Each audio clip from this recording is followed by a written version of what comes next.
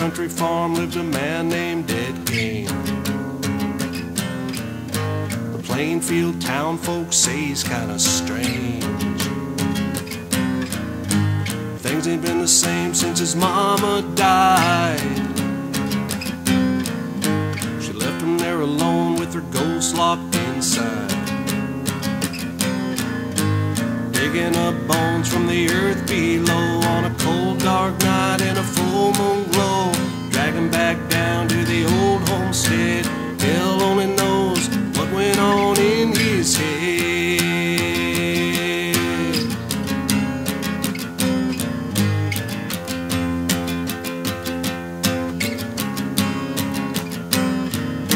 Skulls on the bedpost, sawed off bones.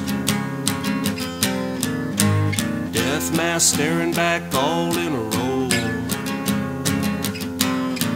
He used the skin of the dead to make his lampshades. Life on the farm's getting downright strange. It let the skeletons out of the closet. They're up in the attic, hanging from the ceiling. Mama's still locked up down in the basement. Hell only knows what went on in his head.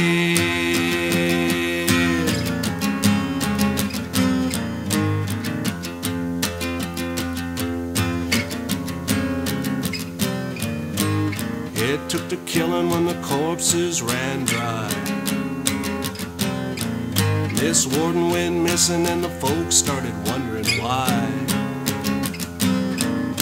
They found her body hanging in his old wood shed. Slotted like a hog and deader than dead. They locked him in chains upstate for the criminally insane. Left him there to rot for the rest of his days. Hell only knows what went on in his head.